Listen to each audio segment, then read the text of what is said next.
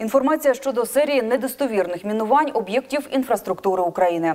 Початок 2022 року став справжнім випробуванням не лише для правоохоронних органів, які негайно реагують на всі такі повідомлення, а й для учнів, батьків і педагогічних колективів освітніх закладів.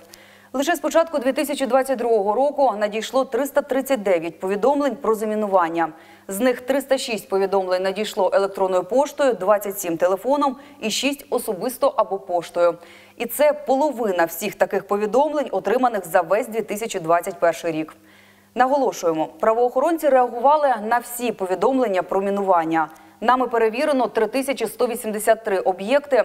Незважаючи на те, що жодне з таких повідомлень жодного разу не було правдивим, органи поліції реагують на кожну інформацію та разом з відповідними адміністраціями проводять перевірку. Сьогодні ми можемо впевнено констатувати, серія псевдозамінувань є нічим іншим як елементом гібридної агресії та спланованою інформаційною операцією. Мета цього інформаційного тероризму тримати українців в напрузі та вселити невпевненість у власній безпеці. І зробити це не так терористичним актом, як можливістю, що подібне може статися. Тому головне зберігати спокій.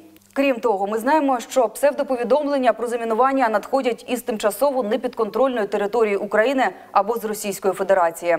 Зазначаємо, що завідомо неправдиве повідомлення про загрозу безпеці громадян, знищення чи пошкодження об'єктів власності згідно зі статтею 259 Кримінального кодексу України карається позбавленням волі на строк від 2 до 8 років.